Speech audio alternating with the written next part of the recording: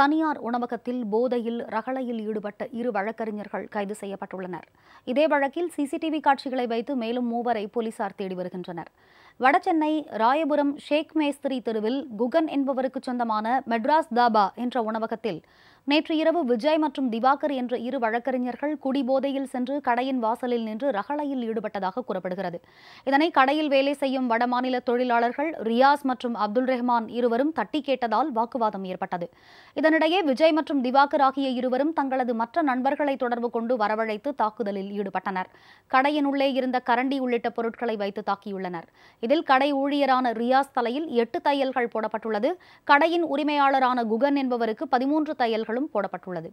தகவல் அறிந்து வந்த போலீசார் சிசிடிவி காட்சிகளின் அடிப்படையில் விஜய் மற்றும் திவாகரை கைது செய்ததுடன் தலைமறைவான மற்ற மூவரை தேடி வருகின்றனர்.